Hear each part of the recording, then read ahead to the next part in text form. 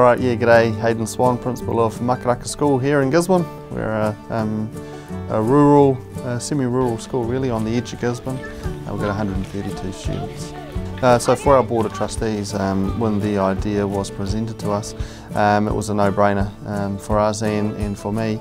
Um, it fit right within our curriculum. Our curriculum is around um, adventure and risk taking and especially the risk analysis and so for our children who love uh, outdoor education, who love EOTC, who love um, climbing trees um, and being active, uh, it was really a no-brainer. So our children needed an opportunity to, to develop that further and for having uh, a bike track here as part uh, of our school grounds uh, was an amazing opportunity not to be um, passed up and by starting here uh, with the bike track uh, they get that sense of being cautiously aware, not being silly, to have fun um, but, but within uh, boundaries of risk analysis and safety.